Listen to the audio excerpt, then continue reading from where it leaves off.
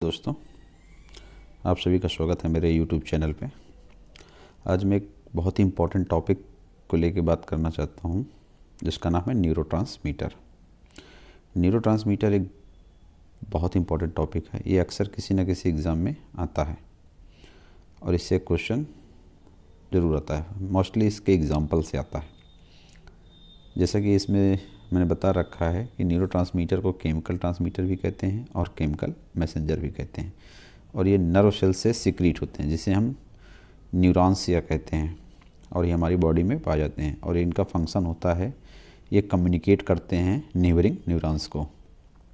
जिस न्यूरॉन से रिलीज़ होते हैं, उसको प्रीसिनेप्टिक बोलते हैं और जो न्यूरॉन्स एक्सेप्ट करता है मैसेंजर को उसको पोस्ट सिनेप्टिक बोलते हैं।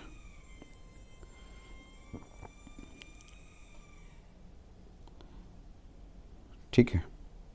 जिसमें कि मैंने नौ एग्ज़ाम्पल बताए हुए हैं। First one is acetylcholine second one is glycine third glutamate fourth dopamine fifth norepinephrine six epinephrine and seven serotonin या इसी को फाइव हाइड्रोक्सी ट्रिप्टामाइन और eight alpha amino sorry gamma amino butyric acid या गावा बोलते हैं, और नाइन्थ है हिस्टामिन इसमें जो बहुत ध्यान रखने वाली चीज़ वो ये है कि इसमें तीन न्यूरो ऐसे हैं जो कि टायरोसिन से मिल के बने होते हैं। यानी टायरोसिन इनका प्रिकर्सर होता है।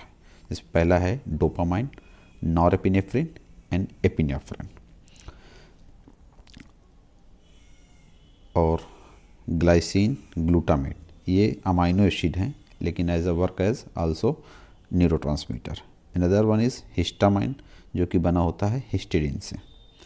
यानी ये देखें most of the neurotransmitter are made up of amino acid acetylcholine neurotransmitter made choline and acetyl enzyme जो एंजाइम्स होता है, वो कोलिन एसिटाइल ट्रांसफरेज इसमें इन्वॉल्व होता है, इसके सिंथेसिस में। कोलिन प्लस स्टल कोएंजाइम से मिलके बना होता है। ये ध्यान देने योग्य बात है। ठीक है। दूसरी चीज़ ये है